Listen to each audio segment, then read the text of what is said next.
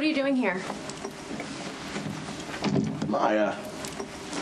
I'm so sorry. We're gonna have to get a rain check on the bickering for tonight. I'm Kind of in a hurry. Off to beat up on teenage girls? Does it make you feel like a big man knocking Whoa, kids hey, what are you talking about? Kristina Davis. Ring a bell? I was just at General Hospital and she was admitted to the ER. Beaten up. But why are we pretending like you don't already know that?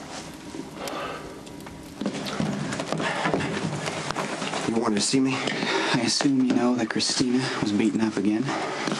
I, I have no idea where Ethan is. His passport is missing. He might be running for his life right He should now. be running for his life. Did Sonny order you to kill him? I'm, I'm not going to answer that. Ethan didn't do it. Come on, man. You got to know that. I mean, you had you had your doubts Yeah, about I his have my guilt. doubts, but you got to give me something to back it up because Sonny's had enough. Ethan is out of time. When I heard you were uh, back in here, I was remembering the conversation we had at, at Kelly's. Remember that? Really easy to talk to. I was thinking about your, your boyfriend. Kiefer didn't seem too happy when he came in and saw us talking together, and he straight up asked if we were talking about the case against Ethan.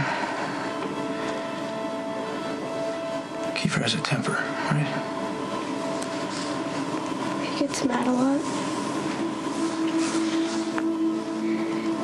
Me if the guy who hit me wasn't stopped, he'd do it again. Looks like you were right.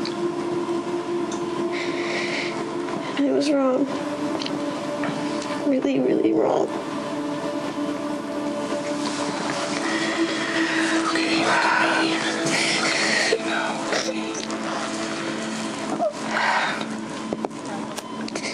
You gotta tell me the truth now.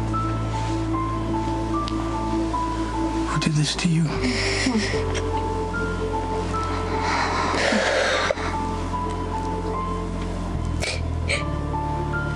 It was Kiefer.